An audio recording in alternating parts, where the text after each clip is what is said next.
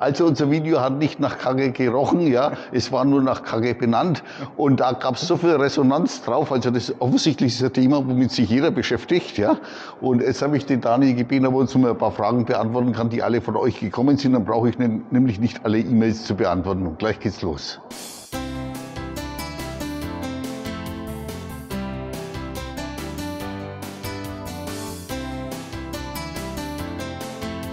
So, hallo Daniel nochmal. Grüß dich, das freut mich, dass wir uns so schnell wiedersehen. Ja, also das liegt aber jetzt nicht an mir, obwohl ich dich natürlich sehr sympathisch finde. Aber, aber es liegt an unseren Zuschauern, denn die haben so viele Nachfragen gehabt. Ja gesagt, das war nicht das beste Interview ist natürlich ohne Nachfragen, aber in dem Fall ist mir das nicht gelungen. Das unglaublich aufmerksames Publikum augenscheinlich. Ja, absolut. Besser. Die sind spitze, ja. So, ich hätte jetzt ein ja. paar Fragen an dich und zwar das erste Mal ist die ganze biologische Haltbarkeit. Ja.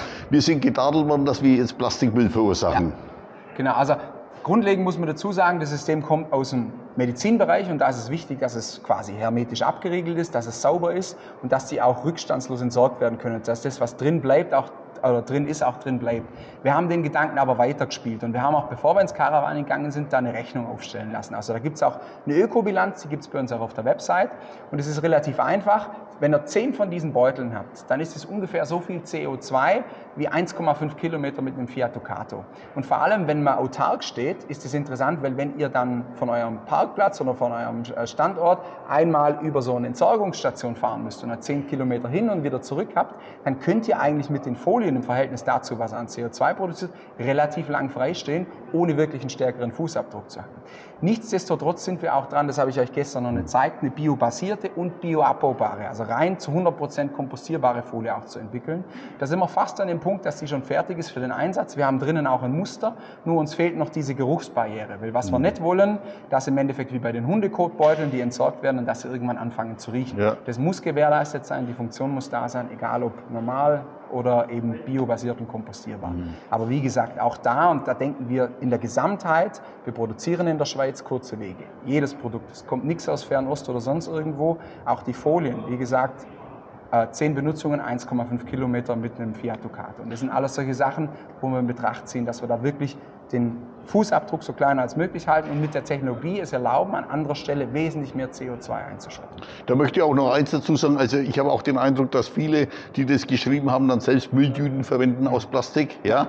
Und man muss ja auch eins berücksichtigen, es benötigt kein Wasser mehr. Genau. Also auch hier wird die Umwelt wieder geschont. Richtig. Und irgendwo müssen wir hin mit unseren Hinterlassenschaften. Das ist überhaupt keine Frage. Wenn ich zu einer Entsorgungsstation fahre, wie du ja selber sagst, ja. dann gehen hier auch viel äh, CO2, Umwelt äh, genau. Belastungen drauf. Das nächste ist, wenn er dann mit diesem Urineinsatz arbeitet, den ich euch gezeigt habe, dann könnt ihr 70 Prozent der Folie, die mhm. eigentlich sonst verbraucht werden müssen, könnt ihr einsparen. Mhm. Und dann müsst ihr nicht alle zwei Tage zu einer Entsorgungsstation fahren, sondern einmal alle zwei Wochen. Oder die Beutel wegbringen. So, dann bin ich häufig angeschrieben worden, weil viele Leute gesagt haben, wie ist es, wenn ich jetzt meine äh, eigentlich gut funktionierende DET-Kontrolle ja. ausbaue und dann baue ich dieses System ein, wie schnell gehen dann die Motoren kaputt, dass ich ein neues äh, Glesana benötige, beziehungsweise ich mich ärgere, dass ich nicht mein DET äh, weggetan ja, ja, habe. Also das stimmt tatsächlich. Wir haben, das muss man dazu sagen, dieses System ja nicht neu erfunden. Es gibt Leute, die das Verschweißen schon lange machen, die die Schweißdrähte bauen, die die Teflondrähte bauen. Auch die Motoren, das kommt nicht von uns. Wir haben das nur sehr intelligent, sagen wir mal, kombiniert kombiniert. Das heißt, alles, was da drin ist, ist Stand der Technik. Die Servomotoren, die gibt es millionenfach. Die Schweißbänder, die sind auf 3000 Grad Schweißtemperatur ausgelegt, die werden nicht verschleißen. Also das heißt, natürlich kann mal eine Komponente kaputt gehen, aber hier geht nichts früher kaputt als beispielsweise Wasserpumpe bei Tedford. Mhm. Und wir haben da auch zwei Jahre Gewährleistung drauf und für den Fall, dass es mal äh, äh Versagen gibt, haben wir dann auch spätestens in zwei Jahren äh, Servicestationen. Bis dahin ist natürlich alles im Rahmen der Gewährleistung. Und man muss dazu, dazu sagen, wir gehen jetzt nicht unbedacht in den Markt, sondern wir haben davor Dauertests gemacht. Mhm. Zehn Geräte mit mindestens 15.000 Zyklen. Und nur als wir festgestellt haben, okay, alle Komponenten sind haltbar, das passt so, haben wir uns entschieden, genau diese Komponenten zu verwenden und in den Markt damit zu gehen. 15.000 Zyklen, das sind 25 Jahre bei, sagen wir mal, sehr gutem Toilettengang. Also im Prinzip kann man auch sagen, es wird so, so weit kommen, dass wenn sollte doch mal ein Motor kaputt gehen, kann ja aus, auch ein Produktionsfehler oder sonst was Genau. sein, dann kann man den einfach austauschen, muss nicht die gesamte Toilette austauschen. Genau, aktuell ist es jetzt noch so, dass wenn es jetzt noch keine Servicestationen gibt, dass wir da größere Baugruppen austauschen, aber das ist ja das Nächste. Ähm, wir vertreiben über den Großhandel, deren Fachhandel und auch da werden wir dann Servicestützpunkte qualifizieren. Also einfach Händler, die gut sind, wie beispielsweise der Mika, so, der kennt sich super mit dem System aus und es kann dann ein, ein Servicestützpunkt sein, wo man dann auch solche kleine Reparaturen machen, machen kann. Genau.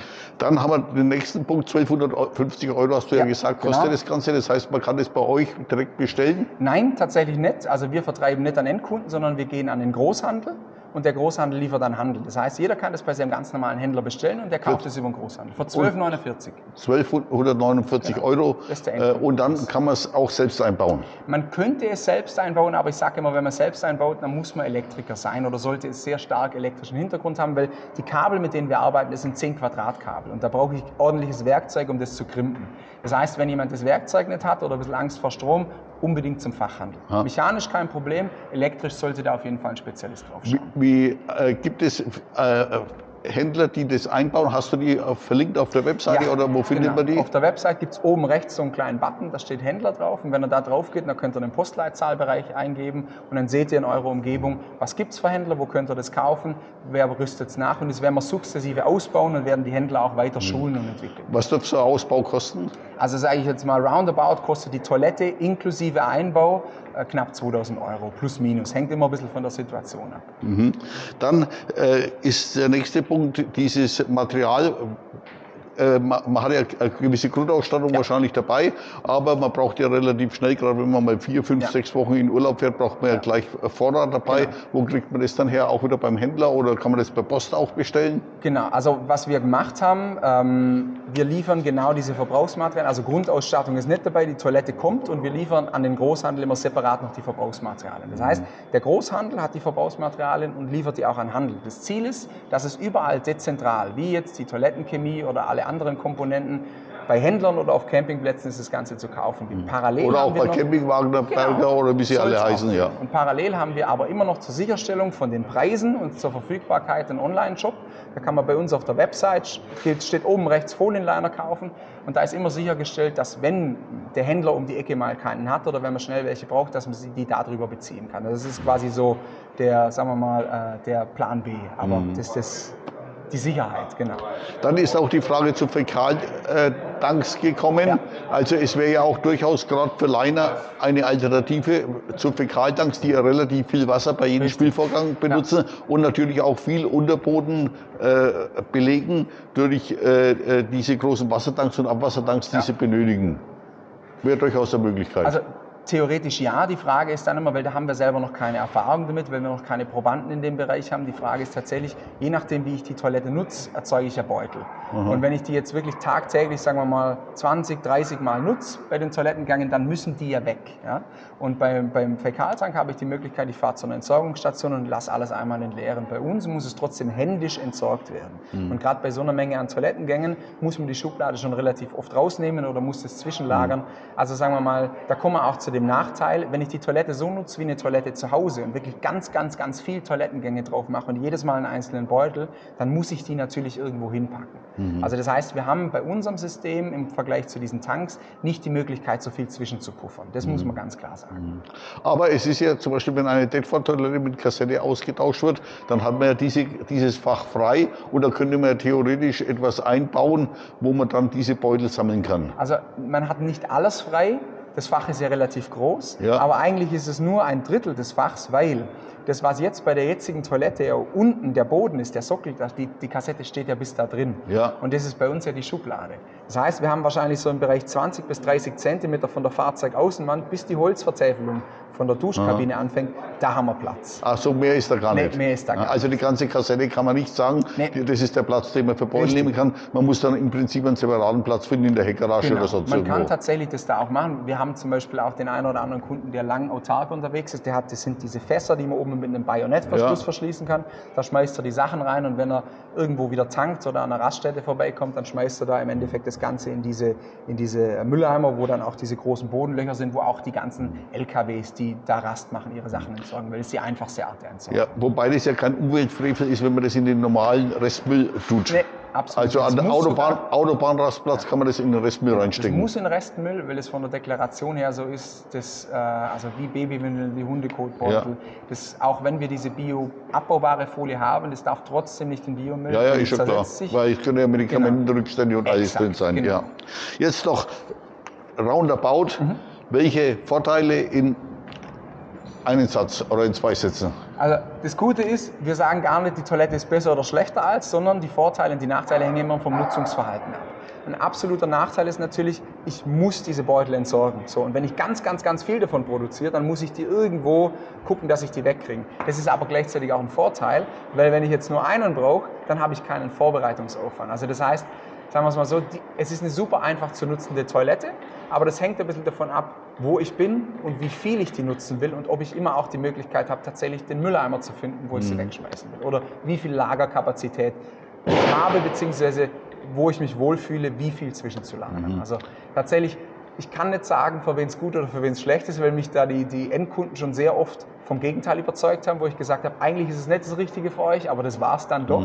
Man muss sich, und das ist ganz wichtig, über sein eigenes Nutzungsverhalten bewusst werden und dann mal überlegen, wenn ich so und so oft auf Toilette gehe, wie oft müsste ich dann rein theoretisch die Beutel wegbringen und da, wo ich bin, gibt es da Entsorgungsstationen.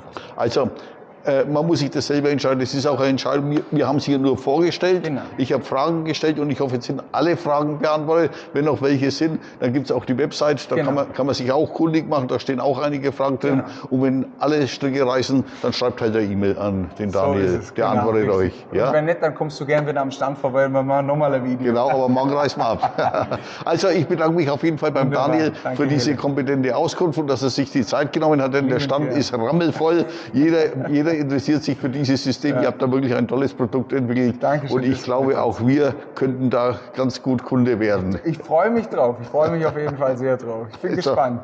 In dem Sinn, Danke euch vielmals. ja, gutes Tschüss. Gelingen bei allem. Ja.